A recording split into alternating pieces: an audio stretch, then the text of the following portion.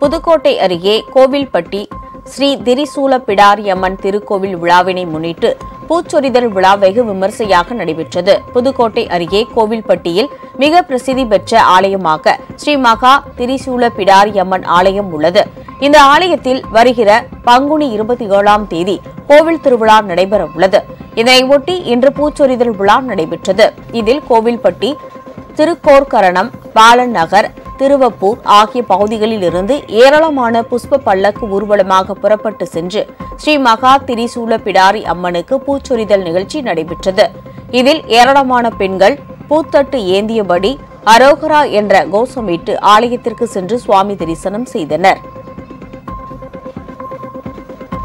உங்கள் ராஜ் நியூஸ் தொலைக்காட்சியில் திங்கள் முதல் வெள்ளி வரை தினம்தோறும் பிற்பகல் இரண்டு மணிக்கு உங்கள் பகுதியில் உள்ள குறைகளை நேரலையில் தெரிவிக்கும் புகார் பெட்டி நிகழ்ச்சி.